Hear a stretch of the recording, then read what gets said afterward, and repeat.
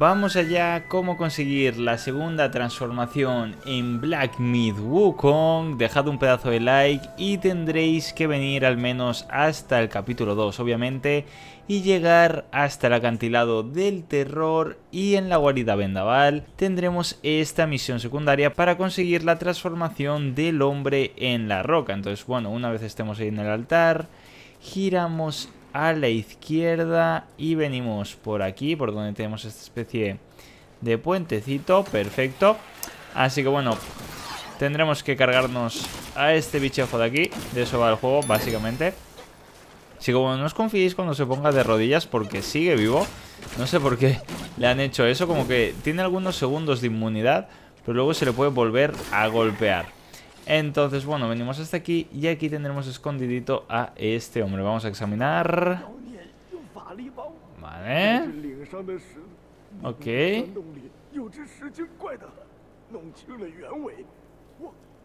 Vale, perfecto. Y tenemos que liberar a este hombre.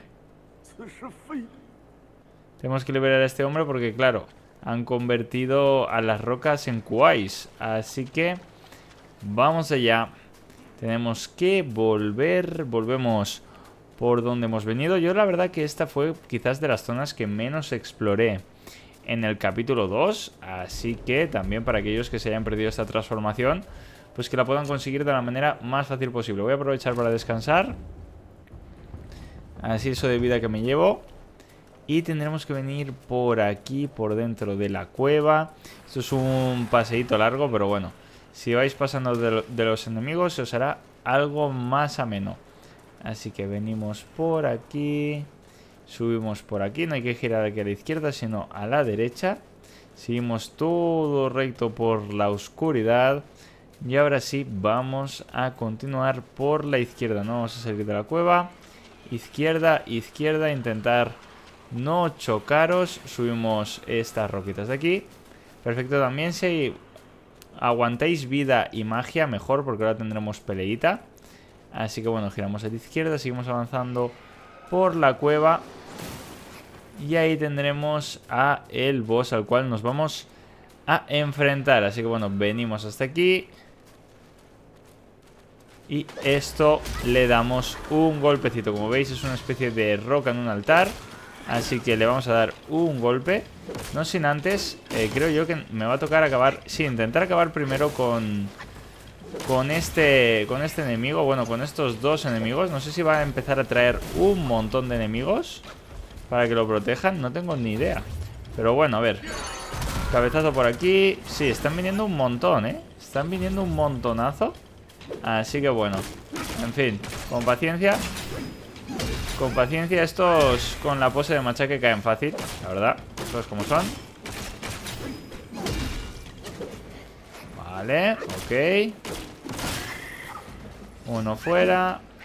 Y este también, a ver si podemos acabar con él. Sin que nos reviente. Nos curamos un poquito. Quiero guardar la magia para el boss y demás. Así que bueno, ¡ojo! Aquí tenemos uno de los espíritus, ¿eh? Uno de los espíritus. Así que bueno, aquí también intentar curar, gastar la calabaza. Porque recuperaréis sus usos. Así que bueno, Rocadama, espíritu. Fijaos, ni siquiera tenía el espíritu de Rocadama que este, que este hombre invoca, ¿vale? Que nos dice, adopta la forma de una Rocadama, saltea, salta y patea al enemigo en el pecho. Aunque falles la patada, el siguiente golpe contra el suelo puede dañar a los enemigos cercanos al impactar. Efecto equipado aumenta moderadamente el daño de los ataques ligeros con salto y reduce el coste de vigor de sprintar. Bueno, no tiene mala habilidad secundaria, no lo quería equipar, quería ver la demo, me he equivocado de botón. Así que bueno, vamos a ver la demo. Vale, da una patada y luego cuando cae también puede hacer daño. Así que bueno, nos ponemos a este buen hombre que me da bastante más defensita. Así que bueno, ahora sí, vamos a curarnos. Y vamos a ver qué osa invocar este hombre. 800, buen golpe. Supongo que invocará más cositas. Ahí está. Pero bueno, les puedo seguir pegando de chill, ¿eh? A ver, muy de chill tampoco porque viene aquí todo, bien todos sus amigos. Pero bueno. Le pegamos un poquito a distancia. En verdad lo que puedo hacer a no ser que me ataquen todos a la vez. es cargar el bastón, coger distancia, cargar el bastón, para que no lo siga invocando, más que nada. Estos caen de un ataque cargado, lo que pasa es que, claro, la cuestión es llegar hasta nuestro amigo.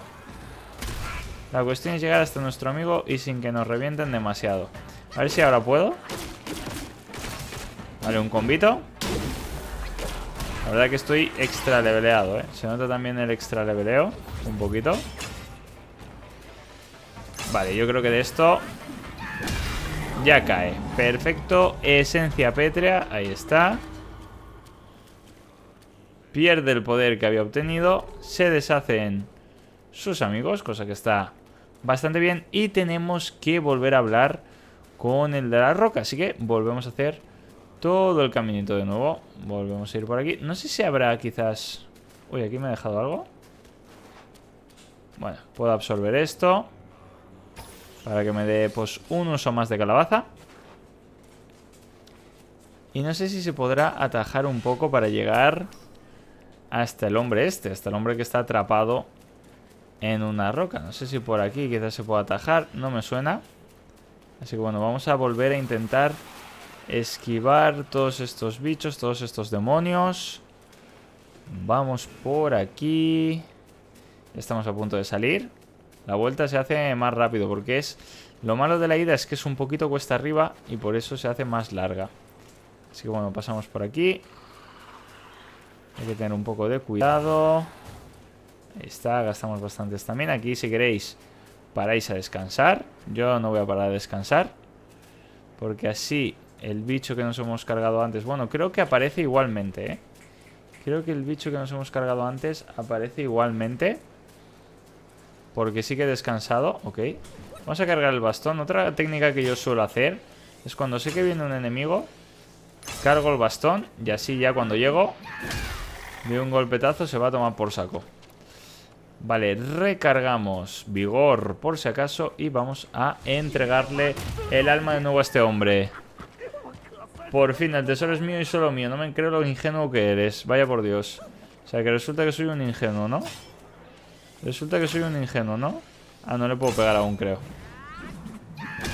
¡Ostras! Pues sí que le podía pegar. Le he quitado mitad de vida, pobrecito. Venga, salta. Vale. De dos golpecitos a tomar por saco el pobre. Claro, ahora tiene piedad, ¿no? ¿No decías que el tesoro que esto que lo otro? Vale, pues nada. El tesoro para mí. Y ya está. Ni para ti ni para nadie. Para mí que para eso soy el prota. Así que dejad un pedazo de like y dejadme en la caja de comentarios qué os parece esta transformación.